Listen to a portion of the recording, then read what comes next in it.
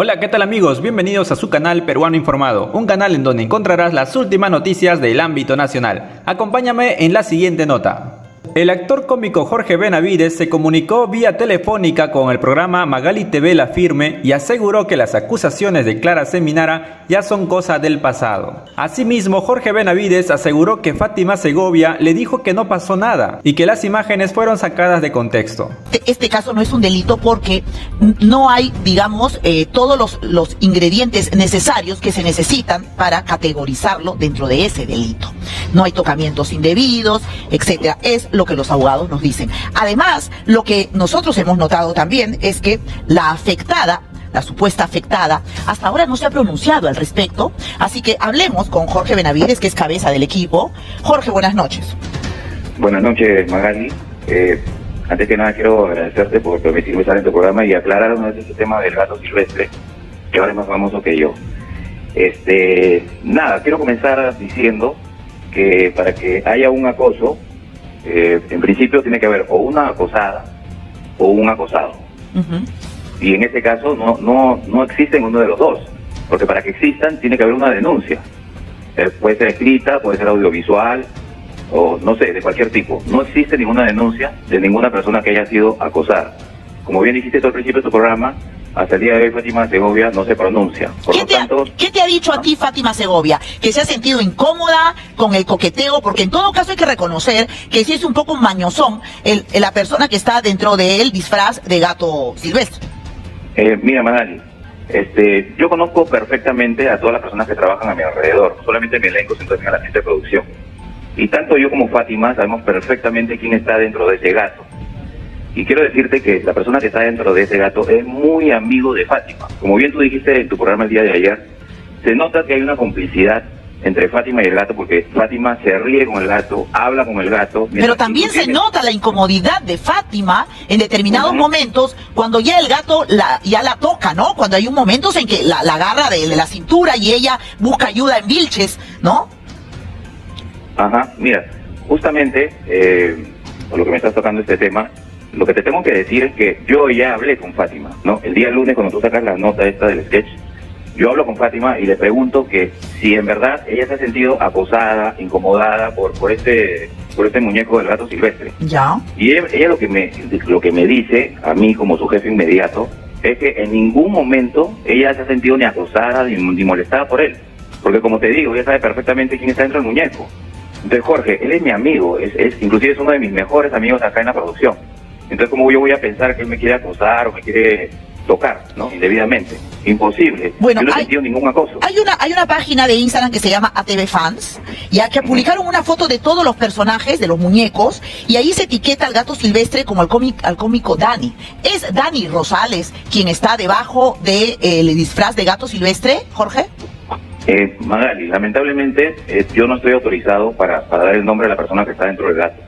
¿no? ¿Pero por qué? Esta, esta porque esta persona en su momento saldrá a decir que es el gato silvestre. Yo, yo no estoy autorizado para dar su nombre. Pero yo creo que quiero- si queremos aclarar el asunto, Jorge, acá a mí me hubiera gustado realmente que la chuecona salga y diga, mira, yo de verdad es mi pata, nos jugamos así, así es nuestra relación, no me he sentido tocada. Y que la otra persona que está debajo de ese disfraz y se involucra a uno de tus, eh, digamos, eh, comediantes con los que trabajas, uno de tus actores, eh, debería de salir al frente y decir sencillamente, mira, no, nuestra confianza es así, si ofendí a alguien, mil disculpas, pero eso de, eh, no sé, en su debido momento saldrá. Lo que, lo que pasa que, Jorge, yo creo que todos necesitamos en este momento y en momentos así una cuestión de transparencia, necesitamos ser claros.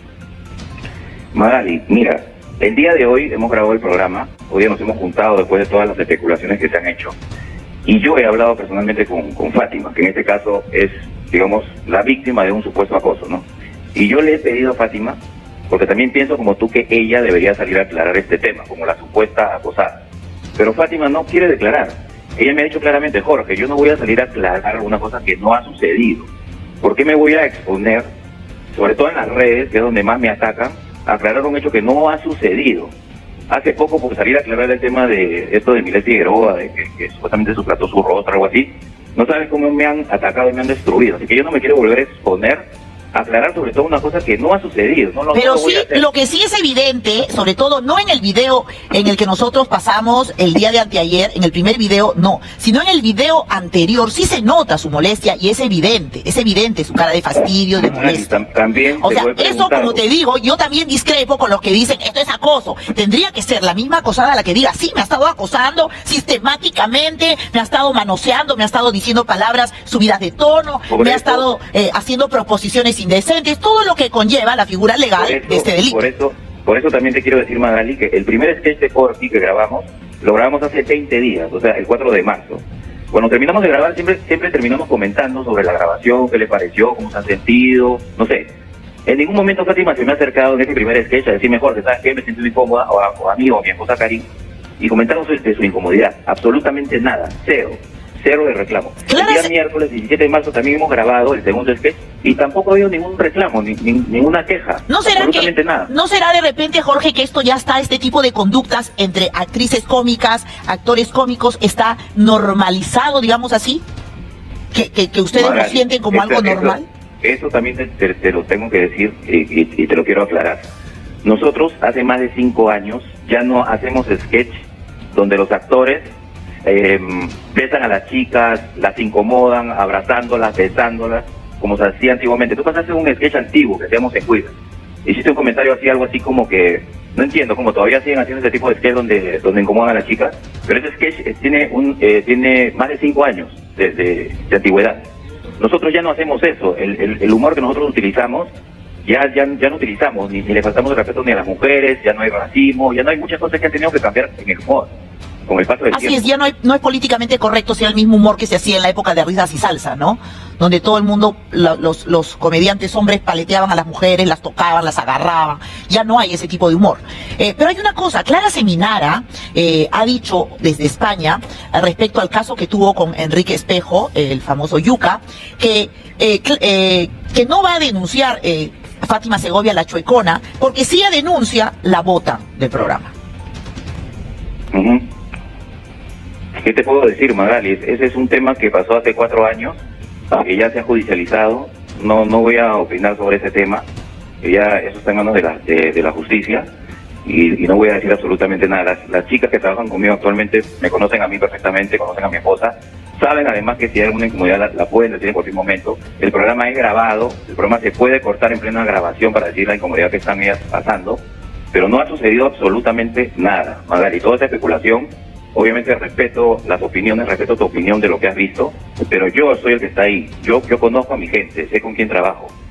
soy el único que podría decir si de verdad ahí había un acoso, pero no ha habido ni acoso, ni denuncia de acoso, y la misma Fátima me ha dicho, Jorge, yo no voy a salir a aclarar algo que no ha Jorge, te pongo una. Cuando yo he visto este segundo video, que lo pedí ayer bien temprano, dije, vamos a ver si esta es una actitud eh, sistemática en, entre este muñeco y, y, la, y la chuecona.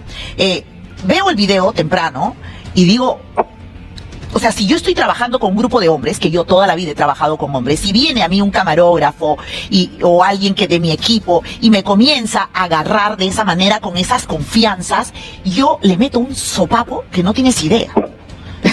Entonces, yo digo, ella lo empuja, su cara de molesta, el entrecejo fruncido, ¿no? Es como varias veces le empuja en la nariz, entonces, como están grabando un sketch, de repente no puede hacer evidente eh, el que, que, sí se siente fastidiada, ¿no?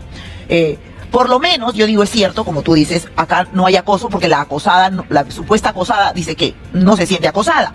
Pero por lo menos creo yo que hay algunos protocolos, ¿no? Que sí se han roto en ese sketch. Algunas cuestiones de, orden laboral. Eso, eso, eso, eso sí lo podría aceptar, que, que se ha roto un protocolo porque nosotros antes de grabar siempre le pedimos que guarden distancia, que no se toque, que es todo lo contrario de, lo que ha hecho el gato. Entonces, este, ¿qué, más podría decir? Si no hay acoso, ¿Y hay digamos, internamente hay alguna medida, hay alguna medida, digamos, de suspensión o de, no sé, eh, lo que ustedes utilicen hacer, digamos, eh, cuando ven que se ha roto un protocolo o algún tipo de eh, orden laboral? Mira, hoy día nos hemos reunido todo el elenco, se, se les ha dado una llamada de atención eh, espero que esto no se vuelva a repetir, ¿no? Que, que, no se rompan los protocolos, porque en todo caso eso sí acepto que ha, pasado, ¿no? Porque no, no se pueden acercar. Y es más, he vuelto a reforzar el tema que a las chicas no se les puede tocar. no se les puede tocar, eso, eso sí lo he dejado bien claro el día de hoy en una reunión. Así sean los mejores amigos, porque estamos en estos momentos, eh, lamentablemente el, humor ha cambiado, todo el mundo mira, todo el mundo está atento al respeto a la mujer. Yo también estoy muy atento, no sabes la cantidad de cosas que, cambiamos y corregimos, nos autorregulamos con el tema de la mujer. Muchas cosas han, cambiado en el programa Magali. Entonces, este, sí. Claro. Silvestre, el gato, ¿es un miembro de la producción o es talento? Eh, bueno, es, un miembro en, general de la producción del, programa. O sea, tú no quieres decir de quién se trata. No me, no, me gustaría esconderlo porque él, él no me Porque mira, ahí en ese video el único que no está, o sea, el que no vemos sin disfraz es Dani y Cachito. O sea, Cachito creo que estaba haciendo de violín y, Dani dentro de esos cuatro muñecos, de esos cuatro muñecos hay también dos mujeres. Hay dos mujeres hay, hay una situación también en, que el que el pato Lucas parece que la besara Dayana. Pero también quiero decirte que esos, esos disfraces son bien incómodos y, la, y la visión es súper limitada. Por eso se ven muchos momentos en que los muñecos se chocan, se tropiezan entre ellos. Eh, no se ve, no se ve. Bueno, no estoy justificando con esto el hecho de, lo, lo que estamos hablando. Pero es bien difícil manejar esos muñecos. Las cabezas son muy grandes, se colocan, por momentos ves, por momentos no ves no se puede calcular la distancia. Por eso en un momento, el único momento en el, que el gato toca a, a Fátima es cuando la toca con la nariz y obviamente es porque no, no se puede controlar a la distancia de la cabeza el que está dentro con la nariz de grande.